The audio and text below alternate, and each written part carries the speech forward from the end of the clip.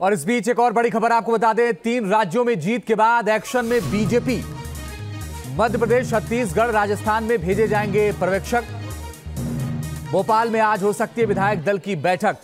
पर्यवेक्षकों की मौजूदगी में विधायक दल के नेता का नाम तय होगा। भोपाल में आज बैठक हो सकती है और इस वक्त ज़्यादा जानकारी के लिए सीधे मध्य प्रदेश की राजधानी भोपाल का रुख करते हैं। मेरे सहयोगी विकास चंद्रा जुड़ गए ज़्यादा जानकारी के लिए। विकास, बताइए क्या अपडेट है? आज बैठक होनी है विधायक दल की या क्या प्रोसेस होना है आज? ये देखिए, बीजेपी की अगर संविधान और बीजेपी की परंपरा पर आप निगाह डालें तो जब भी चुनाव परिणाम आते हैं, चाहे उसमें बीजेपी हारे या जीते, उस दिन पार्लियामेंट्री बोर्ड की बैठक होती है। और कल रात में पार्लियामेंट्री बोर्ड की बैठक हुई, जिसमें प्रधानमंत्री नरेंद्र मोदी, गृह मंत्री अमित शाह, राजनाथ सिंह, जेपी नड्डा सहित तमाम जो पार्लियामेंट्री बोर्ड के सदस्य हैं, वो मौजूद थे। और रणनीति बनाने के लिए होती है, नेता कौन हो, इसको तय करने के लिए पार्लियामेंट्री बोर्ड की बैठक होती है। तो तीनों राज्यों में किसे नेता बनाया जाए, यानी मुख्यमंत्री कौन होगा, इस पर चर्चा बीजेपी की तरफ़ से हो चुकी है, पार्लियामेंट्री बोर्ड की बैठक में। लेकिन जो परंपरा है, जो प्रक्रिया है बीजेपी की, उसके मुताबिक अब पर्यवेक्षक वहाँ से नाम तय किए जाएँगे। जेपी नड्डा की तरफ़ से उसकी घोषणा की जाएगी। वो पर्यवेक्षक आएँगे मध्य प्रदेश और मध्य प्रदेश में आकर के यहाँ विधायक दल की वो बैठक करेंगे। और विधायक दल की बैठक में ही नेता विधायक दल चुना जाएगा और उसके नाम की घोषणा की जाएगी।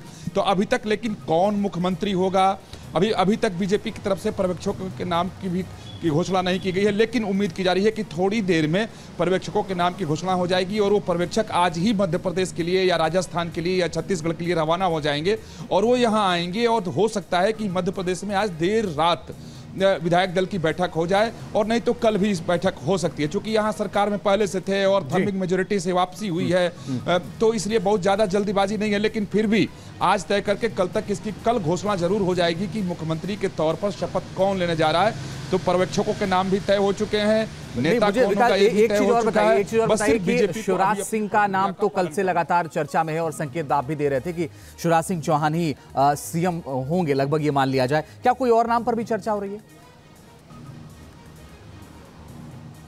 जी देखिए, सबसे बड़ी बात है कि आप देखें कि शिवराज सिंह चौहान हो, चाहे राजस्थान में वसुंधरा राजे सिंधिया हो या छत्तीसगढ़ में रमन सिंह हो, आप बीजेपी अब चुनाव में किसी भी व्यक्ति का नाम आगे नहीं करती है कि नेता कौन होगा। सिर्फ़ मोदी के चेहरे पर बीजेपी चुनाव लड़ती है, क्योंकि उसका परिणाम बीजेपी को मिलता है, इसलिए बीजेपी को लगता है कि एक तो एंटी इनकम्बेंसी झेलो अगर यहाँ मध्य प्रदेश की बात कर लें कि अगर शिवराज होते तो कहीं एंटी इनकम्बेंसी का नुकसान ना हो जाए तो चेहरा ही मत डालो।